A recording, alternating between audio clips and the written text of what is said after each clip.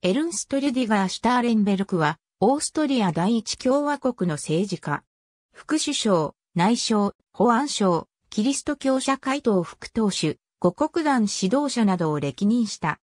1919年に爵位が廃止されるまでは、フィルストの爵位を持つ貴族だった。1899年に、オーバーエスターライヒシュエフェルディングの貴族エルンスト・フォン、シュターレンベルクとフランツィスカ・フォン・シュターレンベルクの息子として生まれ、第一次世界大戦では、イタリア戦線に従軍した。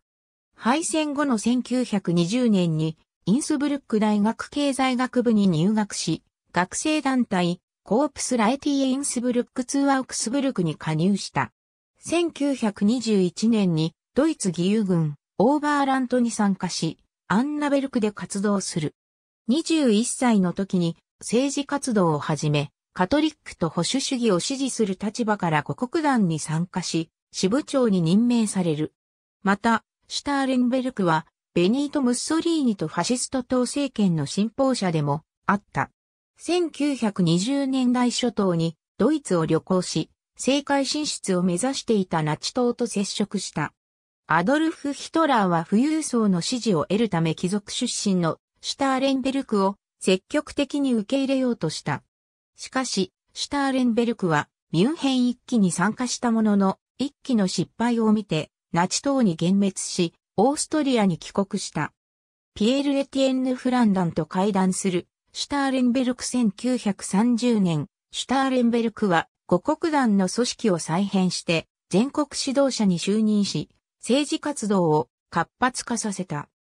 その結果、五国団はオーストリア政界において無視できない影響力を持つまでに勢力を拡大し、シュターレンベルクは同年9月に発足したキリスト教社会党のカール、ファウゴイン内閣に内務大臣として入閣した。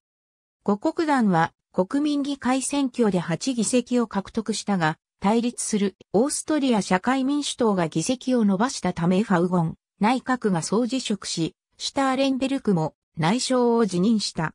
その後、シュターレンベルクはキリスト教社会党に入党し、1931年に副党首に就任した。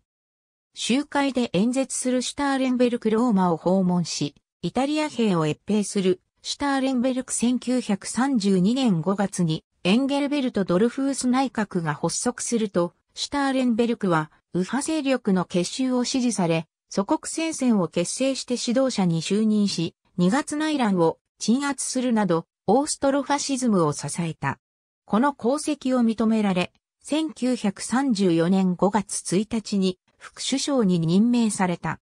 7月25日に7月1期が発生し、ドルフースが暗殺されると、シュターレンベルクは翌26日に首相代行に就任し、オーストリアナチスの弾圧を主導した。27日に行われたドルフースの追悼集会では、ボリシェビキに対するヨーロッパの防壁を提唱し、同時にドルフースのオーストリアナチス弾圧を継承して、国家社会主義への敵対姿勢を明確にした。シュターレンベルクは後継首相の地位を狙うが、大統領、ビルヘルム・ミクラスに任命を拒否され、また、党内からも反対の声が相次いだ。このため、29日に教育大臣、クルト・シュシュニックが後任の首相に就任するが、シュターレンベルクは副首相に留任したほか、新たに保安大臣に任命された。この時点で、シュターレンベルクはオーストリア政界の2の実力者となっていた。また、この頃には、ハプスブルク帝国の復活も視野に入れていた。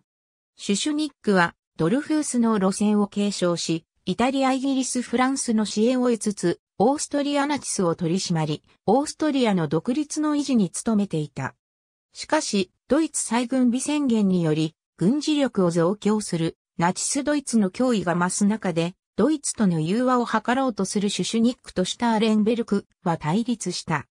1936年3月に、シュターレンベルクは祖国戦線指導者を罷免され、5月14日には副首相、保安省も罷免された。当時、シュターレンベルクの権威はフェニックススキャンダルによって失墜しており、シュシュニックにとっては性的を追い出すのに好都合な状況だった。同年夏にシュシュニックはゼールでアルトゥルザイスイコールインクバルトと会談し、オーストリアナチスの政治参加を許容することが合意され、10月には五国団が解散に追い込まれた。シュルンスにあるシュターレンベルクの記念プレート1938年3月にアンシュルスが行われると、シュターレンベルクはスイスに亡命した。1939年にはバッハウに所有していたブドウ畑を売却した。第二次世界大戦が勃発すると、シュターレンベルクは自由フランス軍空軍、イギリス軍に参加した。しかし、連合国がソビエト連邦と連携することに反発し、1942年に除隊してアルゼンチンに移住した。1947年にシュターレンベルクは弁護士ルートビヒドレクスラーを通してアンシュルス時代に没収された財産の返還を求めてオーストリア政府を提訴し、1951年12月にはドレクスラーが行政裁判所に出廷した。社民党、オーストリア共産党は返還に反対し、シュターレンベルクに財産の所有を証明することを求め、キリスト教社会党の後継政党であるオーストリア国民党は、この問題に直接関わることを避けつつも、例外なく法律に基づき判断されるべきと表明した。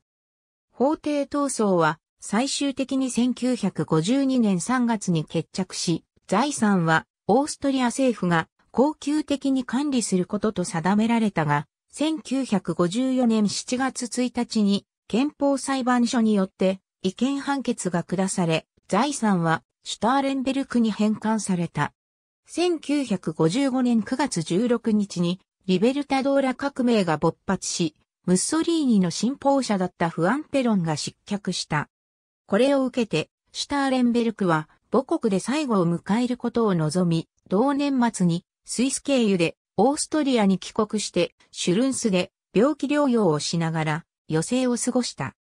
1956年3月15日、散歩中だったシュターレンベルクは共産系新聞人々の声の記者ゲオルクアウアーから無断撮影された。これに激怒したシュターレンベルクは杖でアウアーに殴りかかったが、その際に心臓発作を起こして急死した。1928年9月9日にマリー・エリーザベト2ザルムライライツとウィーンで結婚したが、1937年11月27日に離婚している。彼女との間に子供はいなかったが、彼女の従妹マリア・エリーザベト・レオポルティーネ・ヒッポリテー、ツー・ザルムライライツを養女としている。マリー・エリーザベトと離婚した直後の1937年12月2日にユダヤ人女優のノラ・グレゴールと再婚している。ノラとの間には、結婚前に、息子、ハインリヒ・リュディガー・グレゴールを設けた。